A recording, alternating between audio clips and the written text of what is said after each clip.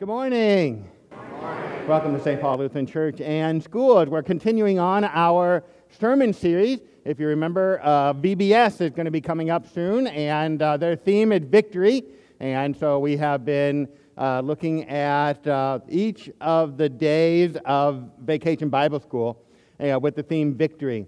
And so a couple weeks ago, we started with uh, victory through courage. last week was victory through obedience as we hung out with Gideon. And then this week is victory through faith.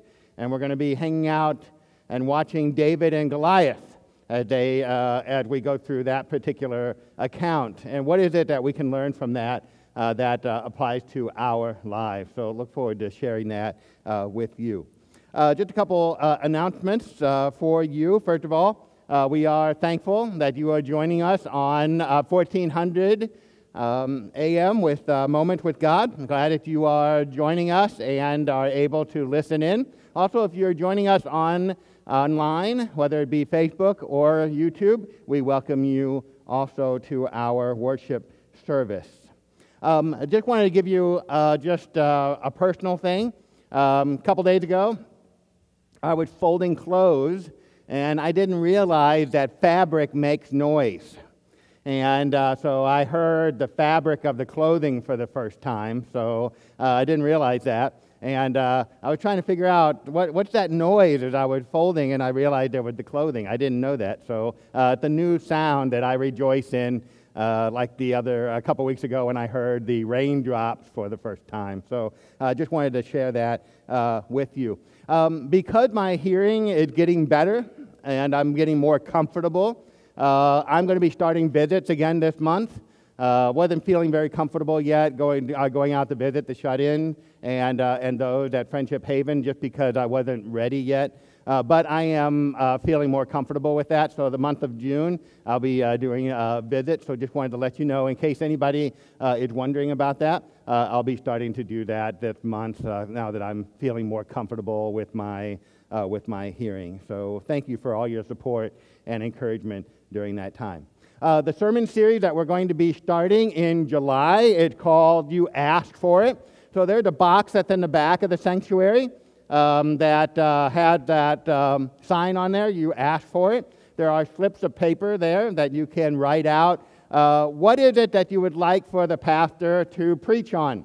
Uh, maybe there's a certain topic that you would like the pastor to preach on. You can write out whatever that topic is and put that in a box and we'll be formulating um, a uh, six week sermon series based on uh, those. Uh, it might go longer depending on how many uh, topics I get. So I just wanted to let you know that that's an opportunity for, uh, for you. As I mentioned also, uh, VBS in camp is coming up on the 20th through the 24th. that's for a four year old up to fifth grade. you can go online. I believe we have 77 kids already registered. Uh, so um, you can uh, jump online and, uh, and go ahead and uh, sign up. Uh, we are also in need of youth volunteers, so be sure to, to, to let us know if you are interested in being able to help out. we are in need of 120 paper towel rolls. We already have some that have been brought in. so if you have some paper towel rolls that are at home, uh, be sure to bring those in and drop them off at the, uh, the VBS table. Uh, we're going to be using those with our crafts. If you're interested in helping out with the snacks for uh, VBS, um, there is a tree that's on one of the tables. It's a little tree that has different uh, slips of paper on it. And uh, you could take one of those slips of paper and it'll have a suggestion on what snack to bring in. You could just go ahead and get that and bring that, uh, bring that in. We're thankful for, uh, for those donations as we're seeking to provide uh, snacks for the, uh, for the kids. Also, last week I had shown everyone the t shirts that uh, the volunteers are going to be wearing. And so, starting this weekend, you can sign those t shirts. just put your name on it, on as many t shirts as you want that are there.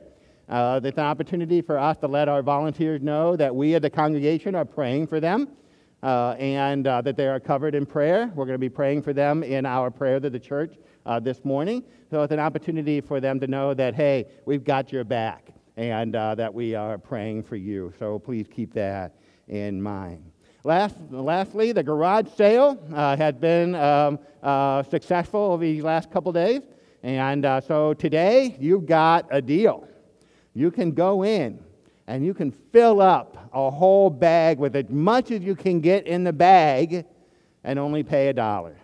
And so it's a dollar a bag day. So that'll happen right after the 1030 service. That'll be open. You can go in. You can gather all the stuff.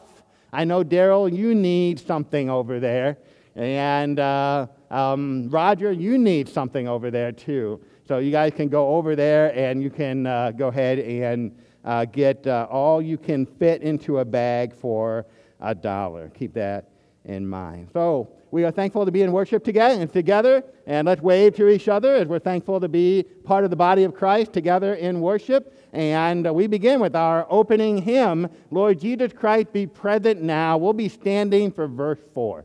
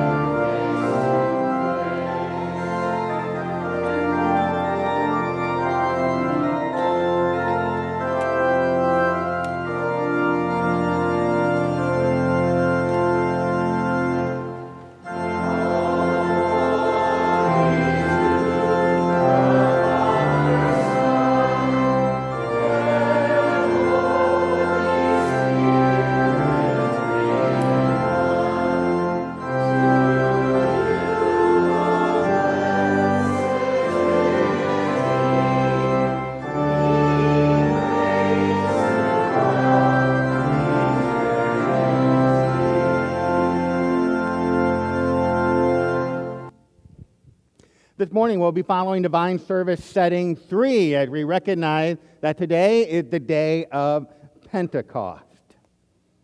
In the name of the Father, and of the Son, and of the Holy Spirit, Amen.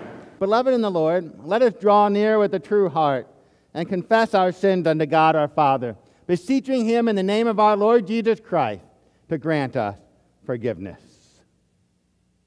Our help is in the name of the Lord. I said, I will confess my transgressions unto the Lord. We take a moment of silence to reflect on God's word and for self examination.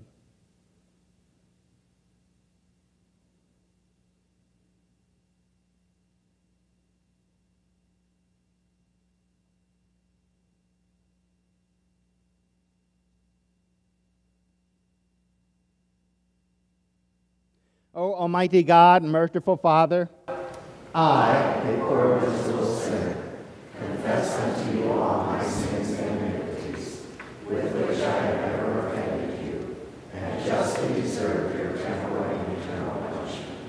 But I am heartily sorry for them, and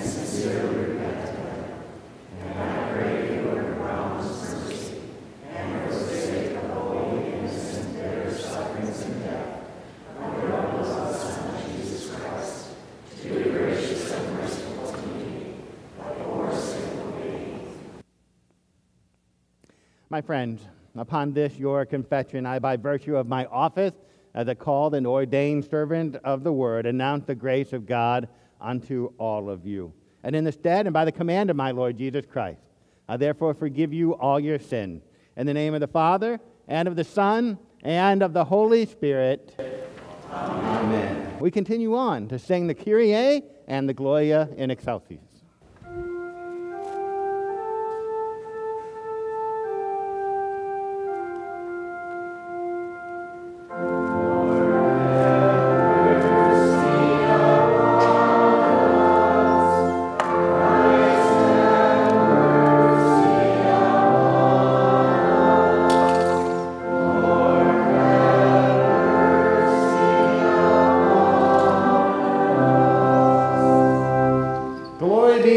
God on high.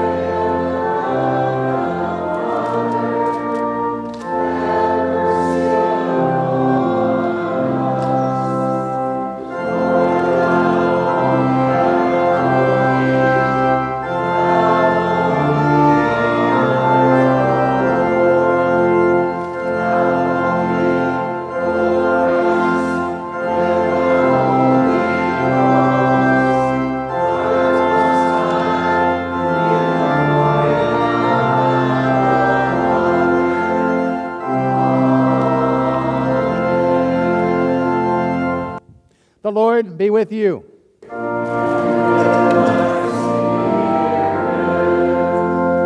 Thank you. Let us pray.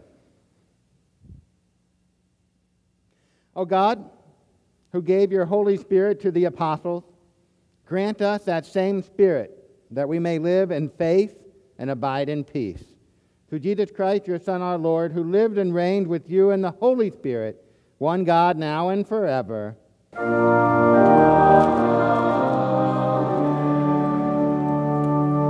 You may be seated.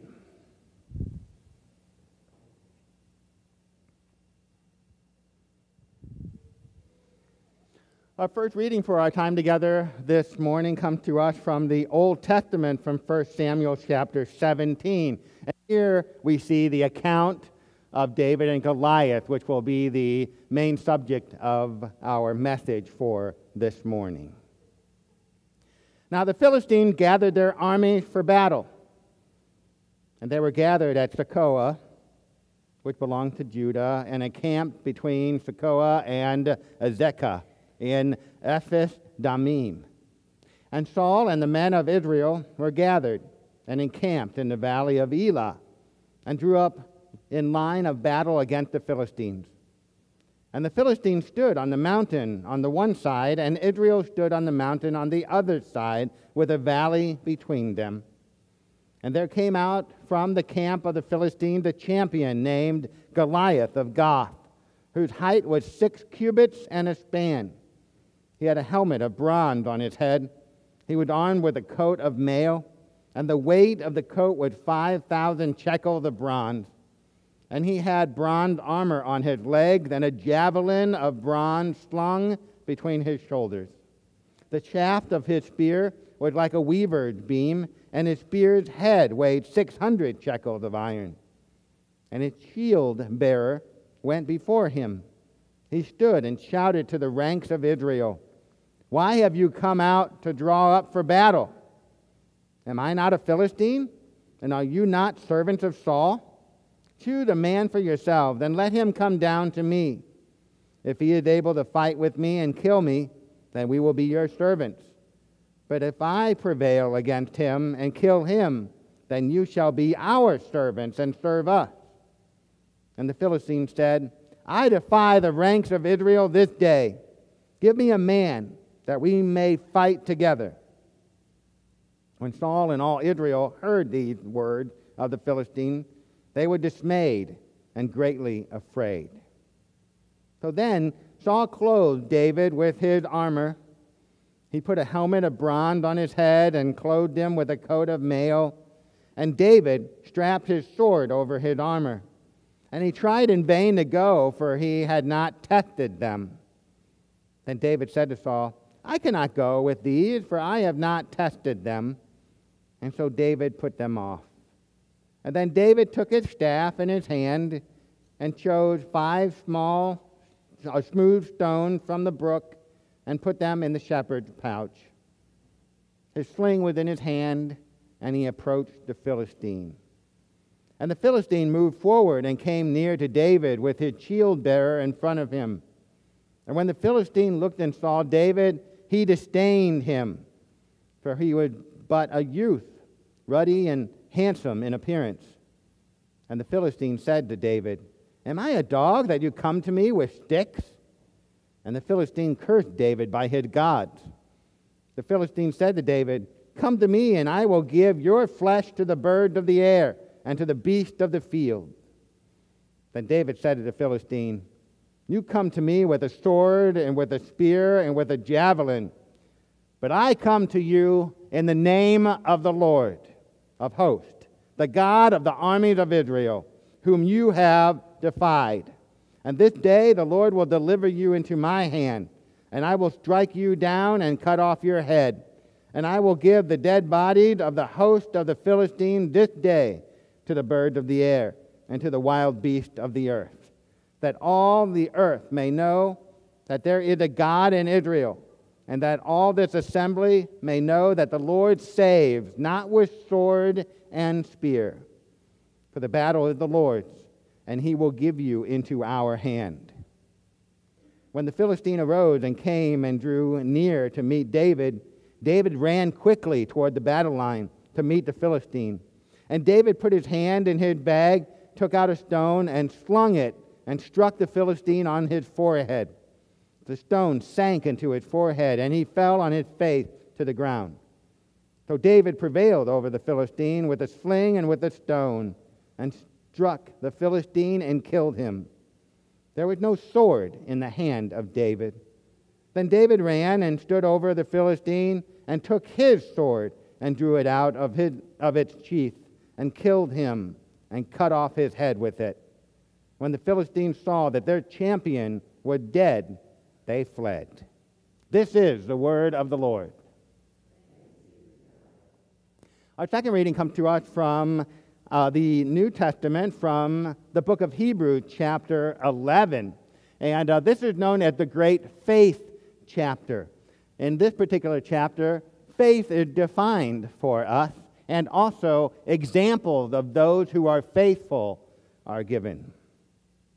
The Hebrew writer writes, now, faith is the assurance of things hoped for, the conviction of things not seen.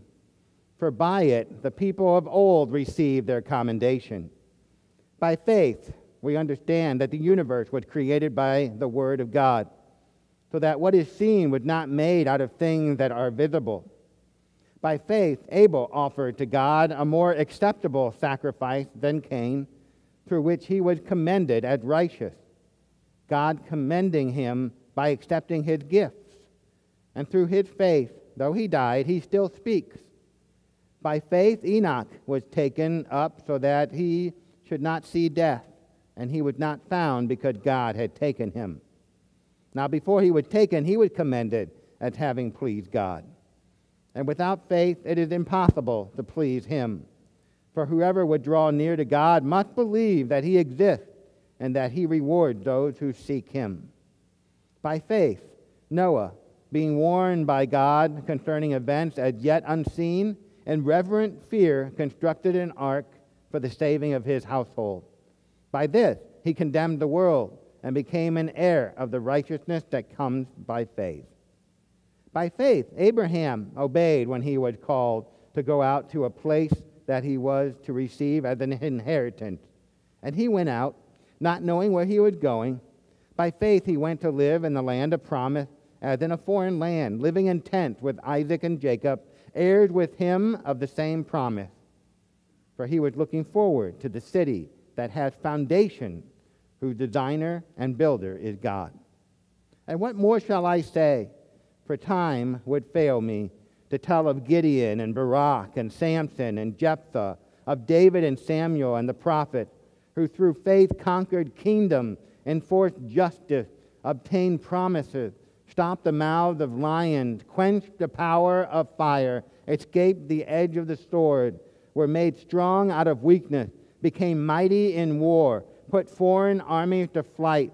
Women received back their dead by resurrection. Some were tortured, refusing to accept release so that they might rise again to a better life.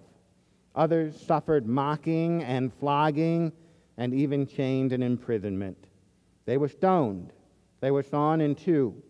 They were killed with the sword.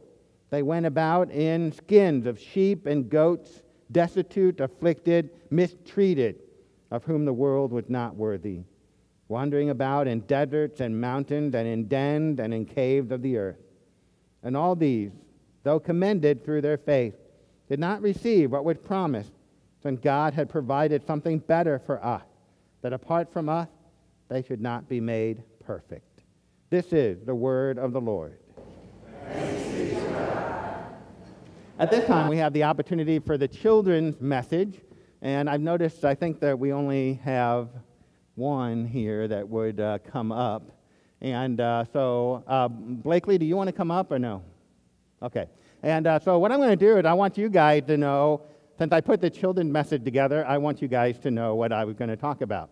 And so, David and Goliath, oftentimes we think about um, uh, David and Goliath in a certain way that I'm going to mention in the message. But what I wanted to do with the kids is I was going to have one of them uh, stand up and hold a book out with their hands. And I'm uh, going to ask them, is this, uh, is this pretty easy to do? And they probably would say yes. And then after that, I would say, well, what if I were to add another four books on top of that? Would that be easy for you to hold? And they might have said yes. They might have said, yeah, I can, but maybe it's getting harder. And then I, then I would have gotten another three books and put that on top, and I'm pretty sure that that would have been hard. Blakely, do you think that you could handle this many? You think so?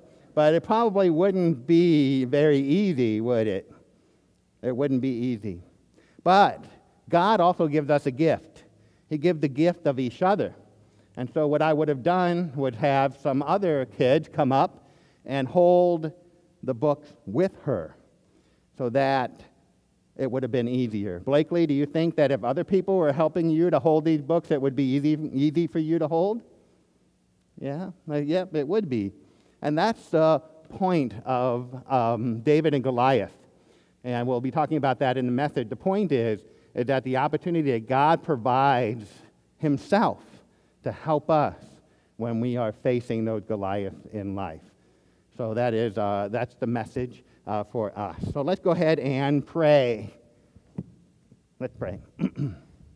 Repeat after me. Dear Jesus, Dear Jesus thank, you so much for not leaving me alone, leaving me alone but being with me, being with and helping me as I go about life, facing my giant. I know that you fight for me and that you help me. We pray this in your name. Amen. At this time, uh, won't you uh, join me as we move into uh, the Alleluia and verse in honor of the gospel You can stand with me if you are able.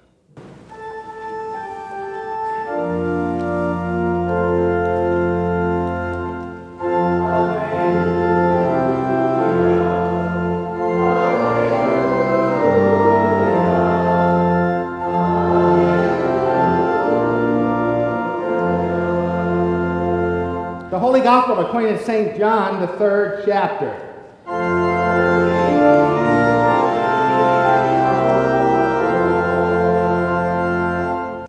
Today we recognize that it's Pentecost Sunday, and in Pentecost, uh, the disciples and then ultimately each and every one of us have been clothed with the Holy Spirit through the hearing of the Word and also through our baptism.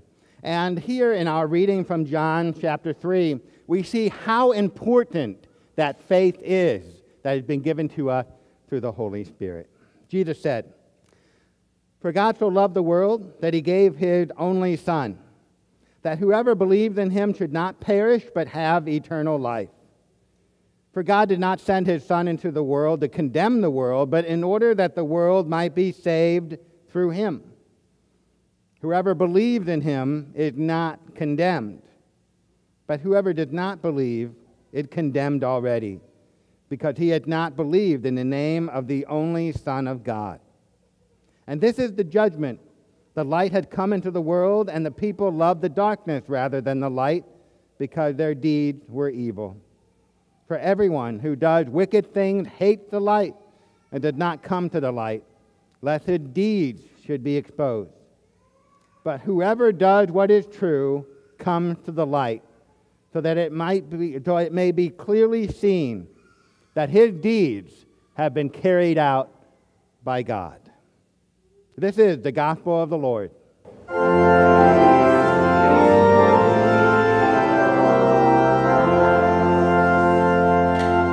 At this time, we have the opportunity for us to confess our faith uh, as we use the words of the Nicene Creed. So, as the body of Christ, together we confess. I believe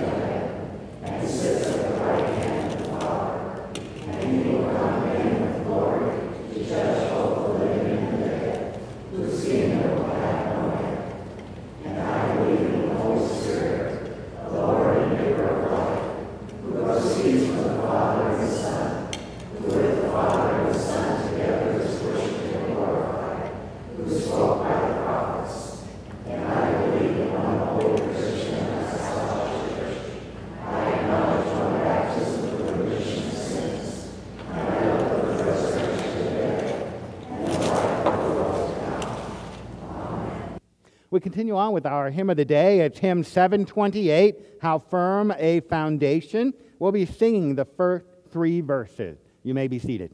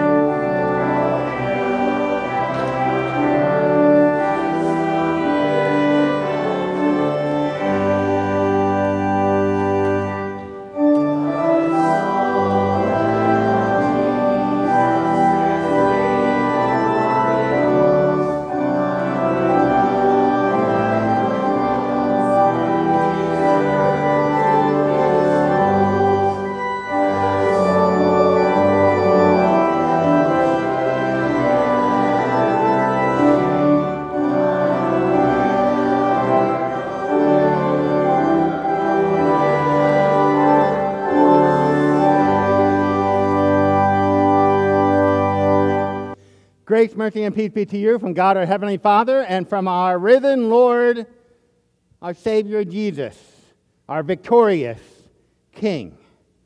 Grace and mercy to you in the sanctuary, to those that are joining us online, and to those that are listening to the radio.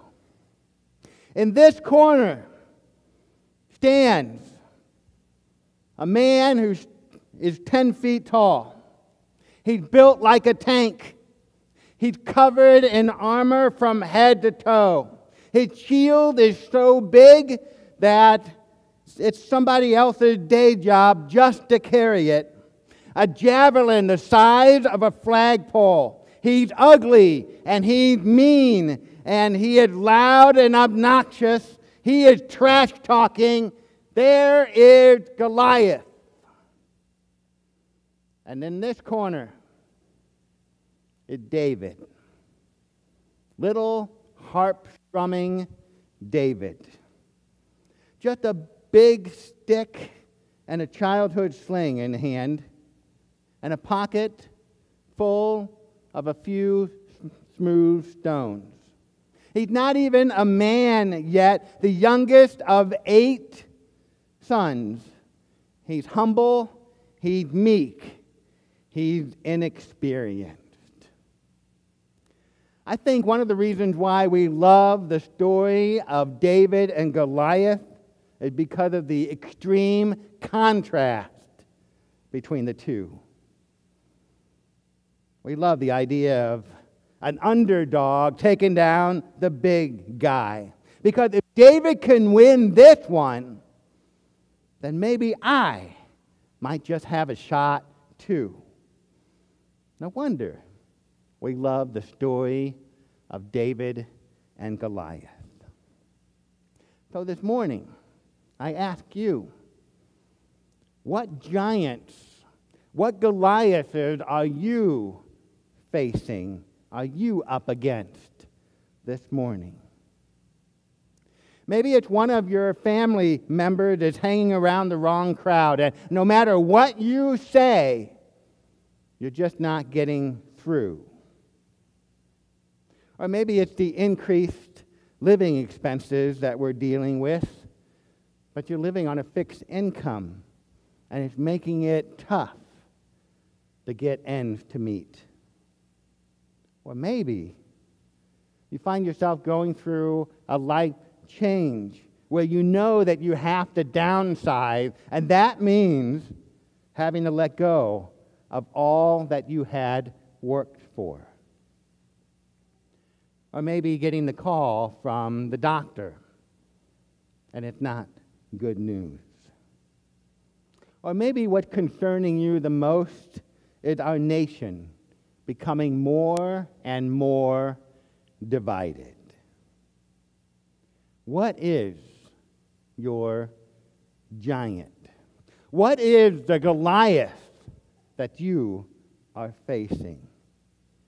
Because whatever it is, we seem to need these types of stories, don't we? These types of David and Goliath accounts to inspire us, to encourage us, and even to empower us. Otherwise, it might just be tempting to give up and to walk away and just let them win. And you know, from my experience, as we've been looking at David and Goliath, that's how typically we look at that story.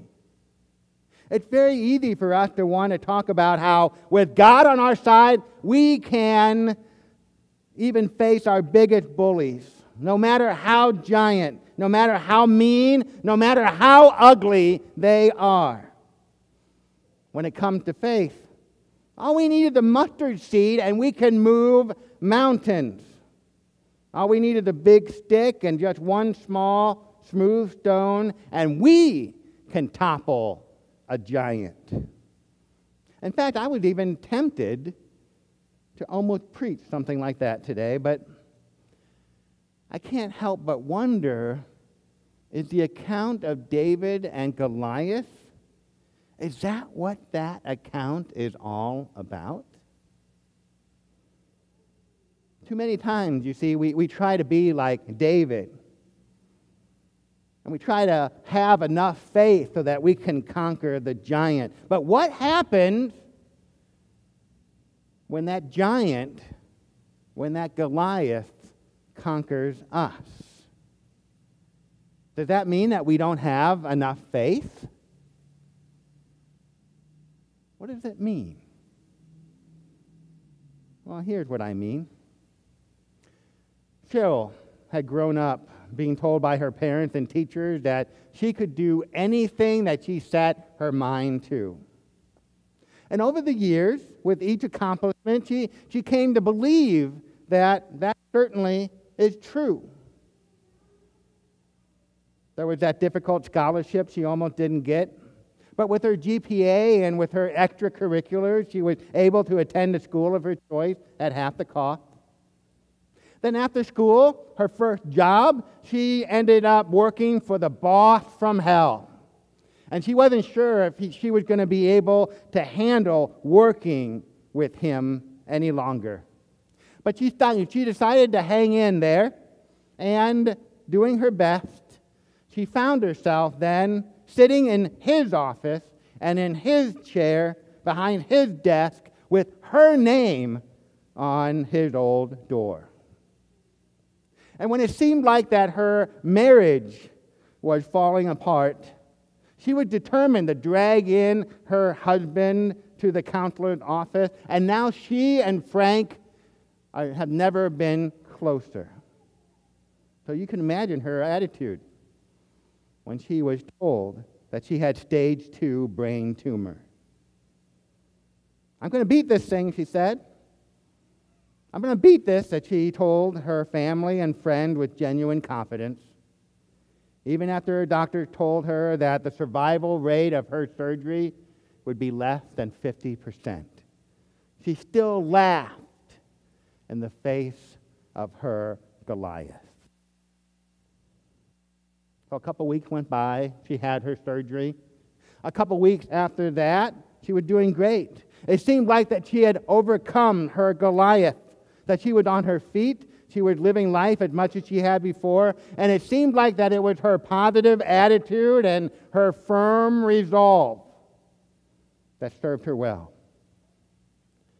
But not even a year later, she started complaining about headaches she noticed that her balance and coordination was slipping.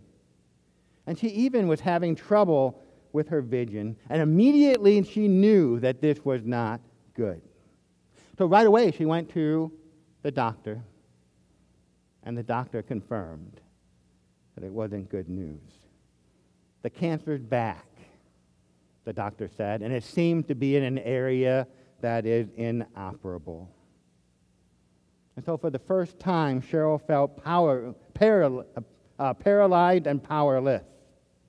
And she came to that sober realization that there really are some giants that are just too big for her.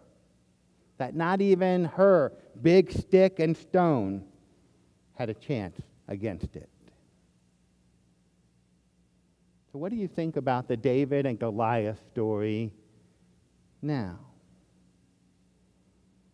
You see, if you think about the time of David and Goliath, David may have won the battle, but he and his people would eventually lose the war. The time would come when David would die, along with the rest of those that were gathered in our story. And even though the nation of Israel was safe for that day and for a time, there eventually would be a day when the kingdom would fall to its enemies the temple would be plundered and destroyed and burned. The holy city of Jerusalem would be left in ruins.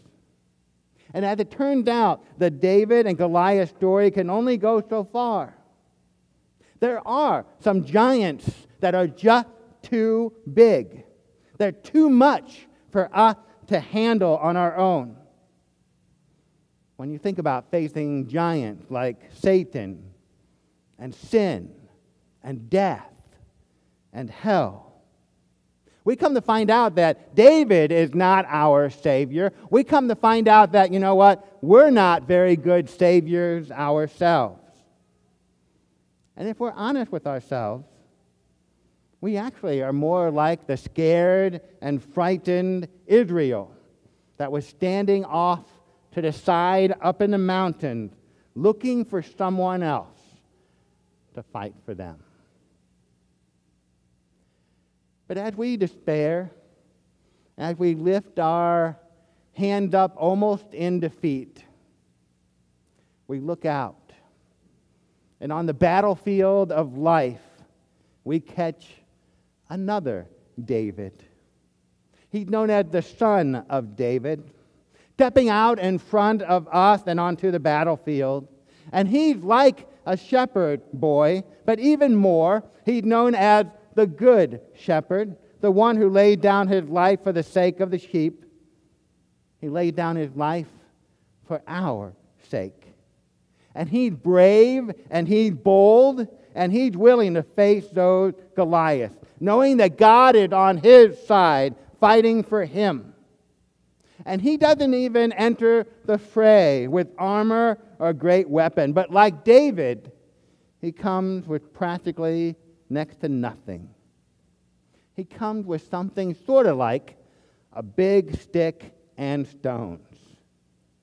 You see, he's got a big wooden cross with his name on it and a rocky tomb.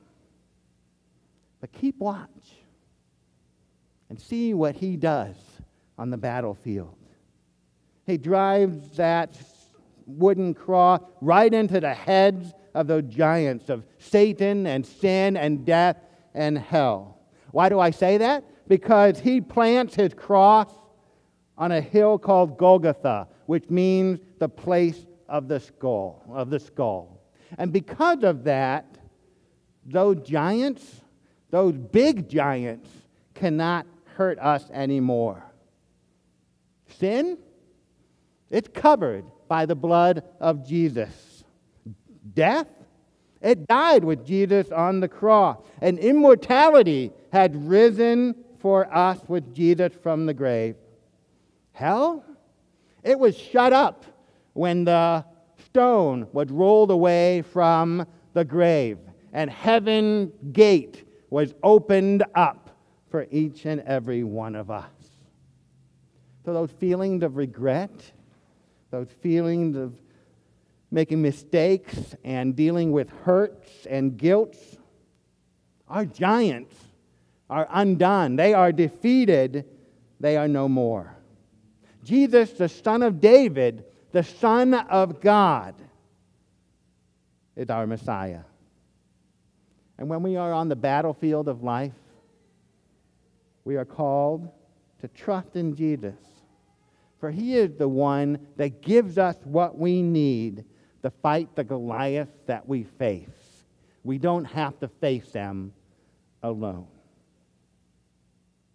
Now, wouldn't you agree if you think about those big giants of Satan and sin and death and hell, that suddenly the giants that we might be facing in life, they don't seem so giant anymore. In fact, they seem pretty small pretty manageable. And that can happen when, when God brings down the biggest of the giants for us, the ones that we can't handle. If these really big ones are fallen, then the other ones just don't look so mean anymore. And my guess is, is that's why David was able to face Goliath in the first place. Because you see, he had seen what God had done to his, for his people already. How he had brought his people out of Egypt, how he had established them as a nation, and had continued to, to, to deliver them from the hand of their enemies. But better yet, David knew that if God kept all of these promises, he would keep the promise of fighting there alongside him on the battlefield. And because of that, Goliath didn't seem so big anymore. Because after all, we can hold our heads up high because we know that we win in the end. When Cheryl first got the news from her doctor that the cancer was back and without a cure, everyone who knew Cheryl feared for her. They knew that she was a real go getter, that she was a real fighter, and now there was no fight left for her. And they were worried about what would happen to her. But boy, were they surprised because Cheryl was even more Cheryl than before. And in fact, her family and friends would now learn the secret to her confidence, even in the midst of her challenge. It wasn't just this American, I can do anything kind of attitude. But no, it was because she had a trust in her Savior, Jesus Christ. You see, for Cheryl, there was no giant that was too big. You see, there's no giant that's too big for us. Not when we have all we need. And that is a big stick, which is the cross of Christ, and a stone, which is his empty tomb. Amen. Now may the peace of God that passeth all of our understanding keep our hearts and our minds in the one true faith until life everlasting. Amen. We'll continue on with the last few verses of our hymn.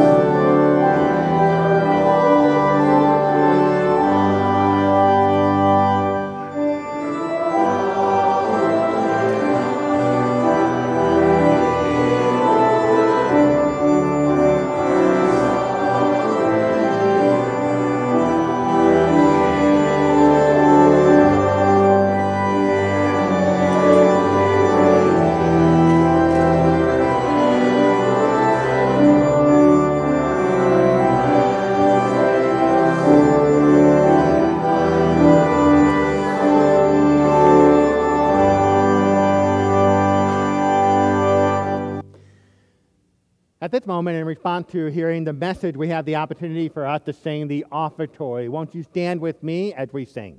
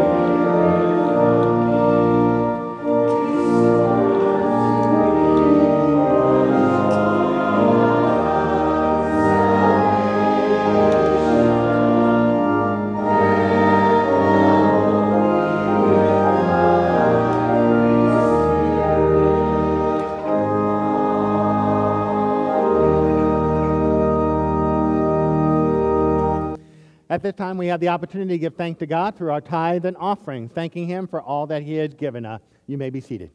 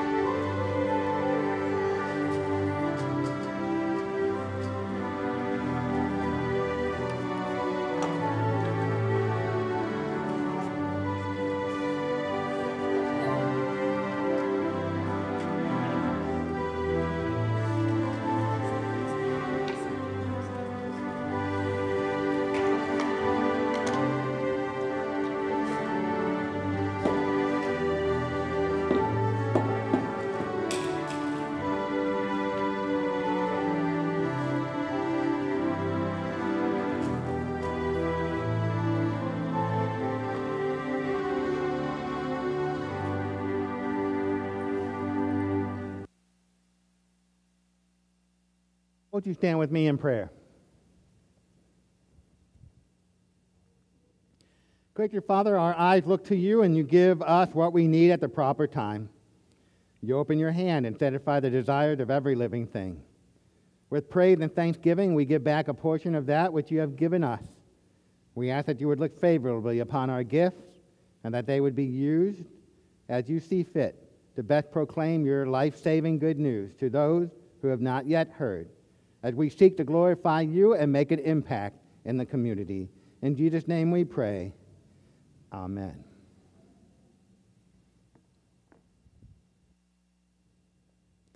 Abba, Father, we thank you that you have brought us forgiveness of sin through your Son, Jesus, and it's through him that we can come to you. You promise that you will hear our prayers, so we ask that you would remind us daily that you so much want to be a part of our lives. As we go through our lives, help us to remember that we have victory through faith as we focus on the strength you give us to overcome whatever difficulties we may be facing, and the trust in your promised presence. Lord, in your mercy. Father of our Lord Jesus Christ, on this Pentecost weekend, we are reminded that you have poured out your Spirit upon us, that we might believe your truth and raise our sons and daughters in it. Bless all parents that they may faithfully catechize their children in your word be with our principal and our teachers, along with all educators, as they prepare for the next school year and may have opportunities to rest during the summer. Lord, in your mercy. Father, we rejoice that you care for us so much that you would want us to pray to you, to share with you what is going on in our lives, the joys that we have, and the cares and concerns we carry in our hearts. We ask that you would be with those who are sick or in pain especially those that we have on our hearts Kathy McNeil, Glenn DeVries, Laura Dishler, Troy Hoyer, Barb Rather, Carol Stripling, Marion Wood, Penny Hoyer, Gary Anderson, Tom Redman, and those that we have on our hearts and our minds. Father, you know the needs of each of these people. We ask that you would touch their mind, bodies, and hearts, that they may be restored to health and life. We ask that you would be with their families, that they continue to provide care and support during these difficult times.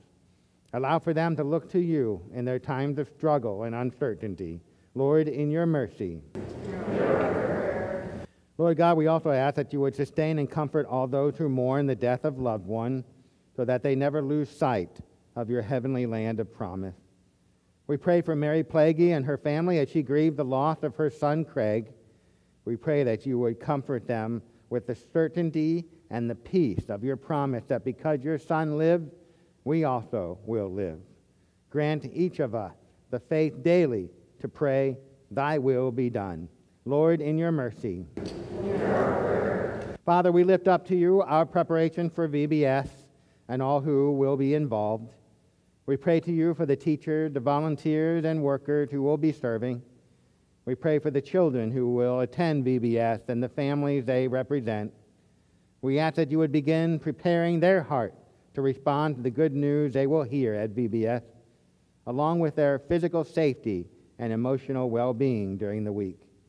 And we lift up to you those who are unchurched in our community who will join us for VBS. May this place be a place of welcome, service, and building relationship with everyone who enters your doors. Lord, in your mercy. Lord of grace, your Son had come among us and had given us the privilege of a place at his table. Prepare us to receive his body and blood with repentance and faith for our good and for the flowering in our lives of your holiness and righteousness. Nourish and feed us that in this Holy Communion we may be strengthened for your service. Lord, in your mercy. All these we pray as we lift them into your hand, O Lord. For we commend all for whom we pray, trusting in your mercy through your Son, Jesus Christ our Lord. Amen. Heavenly Father, hear us as we pray the prayer that your Son had taught us. Our Father, who art in heaven, hallowed be thy name. Thy kingdom come, thy will be done, on earth as it is in heaven.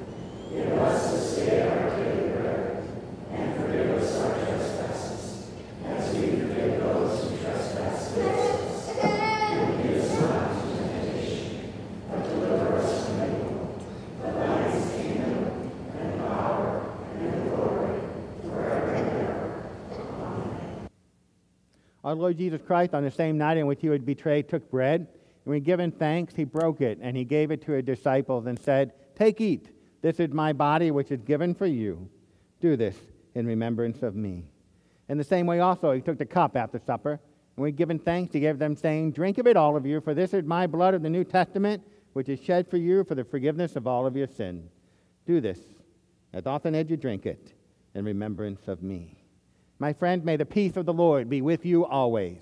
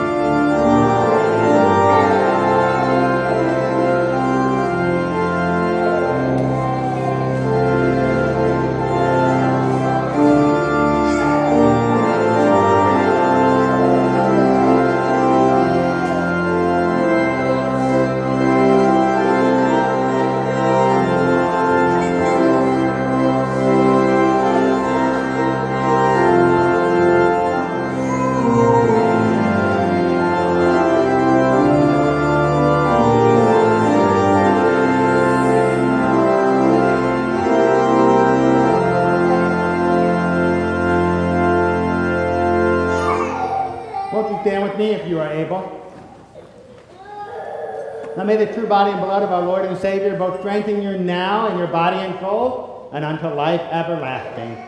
Amen. Oh, give thanks unto the Lord, for he is good.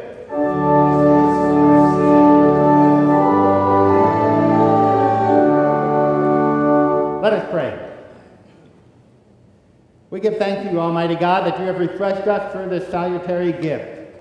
And we implore you that of your mercy, that you would strengthen us through the same in faith toward you and in fervent love toward one another. Through Jesus Christ, your Son, our Lord, who lived and reigned with you in the Holy Spirit, one God, now and forever.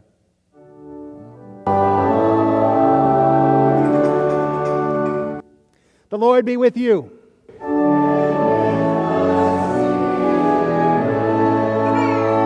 Bless we the Lord.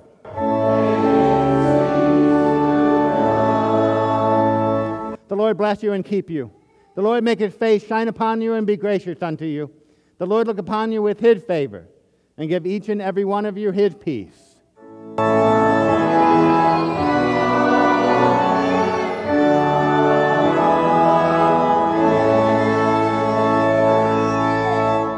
Our closing hymn is one of my favorites. It's Children of the Heavenly Father, hymn 725. You may be seated.